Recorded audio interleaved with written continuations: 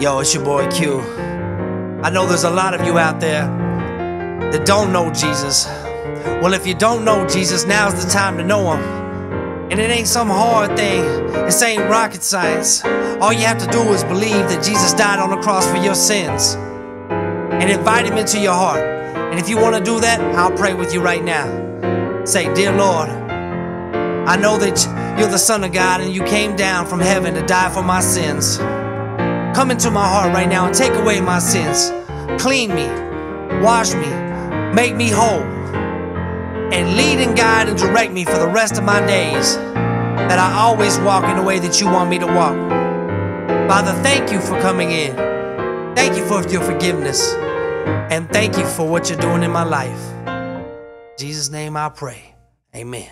That's a good one, Daddy.